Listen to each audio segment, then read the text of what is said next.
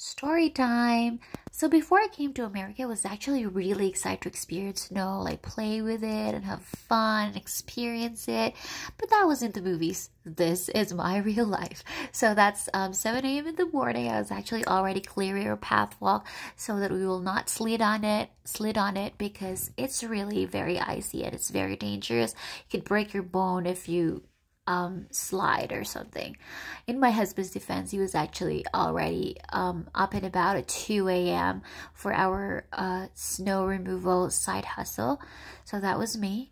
I look like a real worker in there. that is so funny. But yeah, um, there.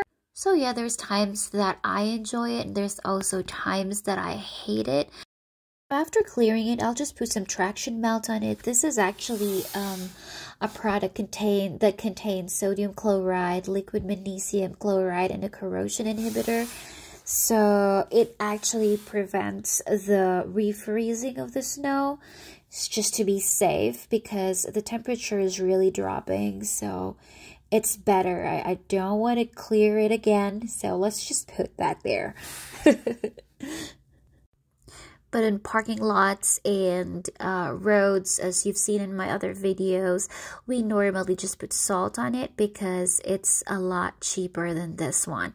This is normally just for really um, small uh, spaces like this. All right i'll go inside. I gotta stay warm